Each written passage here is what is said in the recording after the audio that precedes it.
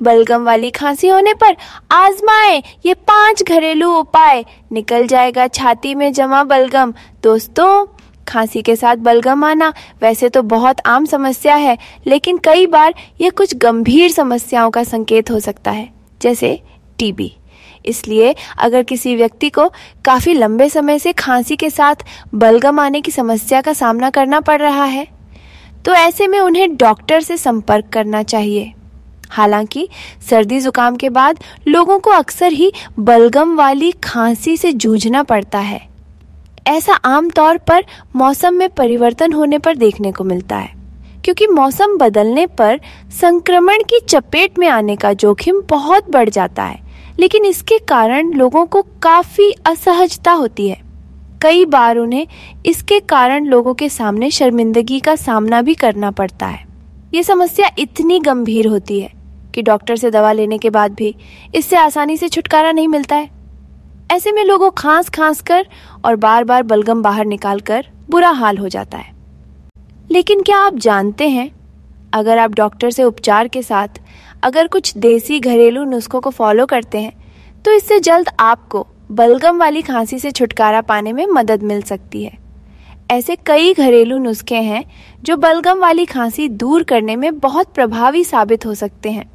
इस वीडियो में हम आपको बलगम वाली खांसी के पाँच घरेलू इलाज बता रहे हैं। लेकिन दोस्तों, ये उपाय जानने से पहले वीडियो को लाइक और चैनल को सब्सक्राइब कर दे। शहद के साथ काली मिर्च चबाएँ।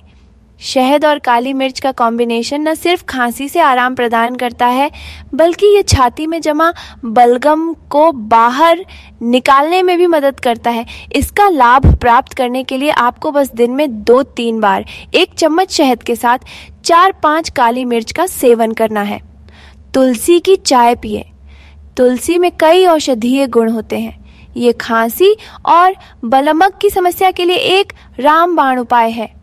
दिन में दो तीन बार तुलसी अदरक की चाय में, शहद में मिलाकर सेवन करने से आपको बहुत राहत मिलेगी।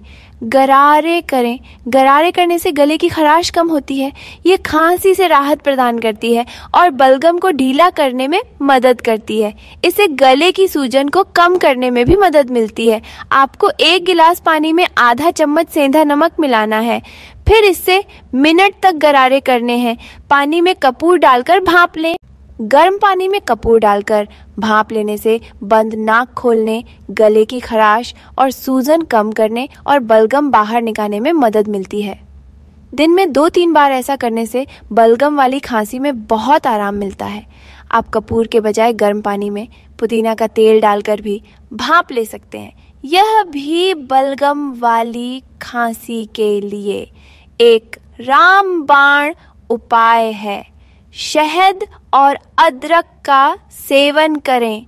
शहद और अदरक दोनों ही एंटीओक्सीडेंट्स और एंटी इन्फ्लेमेटरी गुणों से भरपूर होती हैं। आप एक चम्मच शहद के साथ छोटा अदरक का टुकड़ा चबा सकते हैं या फिर अदरक को पानी में उबालकर इसमें शहद मिलाकर पी सकते हैं।